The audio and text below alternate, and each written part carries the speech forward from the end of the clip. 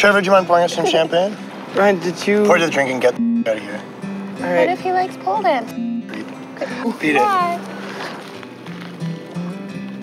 What do you think my mom should be looking for when she's judging the pole dancing competition? Um, strength, flexibility, and sensuality. Uh. If my friends do pelvic thrusts into my mom's face, was that a good thing? Maybe not right in her face.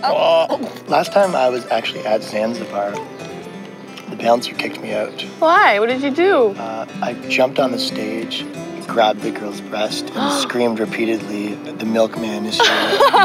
the milkman is here!" Uh, but the bouncer sent me packing. It's just not allowed, babe. I'll get it all. Want to see how many strawberries we can fit in our mouth at the same time? Okay.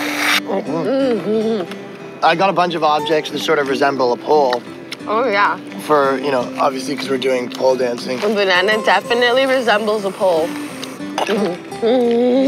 Trevor! Trevor! Yeah, what? Big Gus and get out of here. We'll talk to you here. Uh, All right, now get out of here. Get, make, get your own girl, Gary. Trevor, clean this up.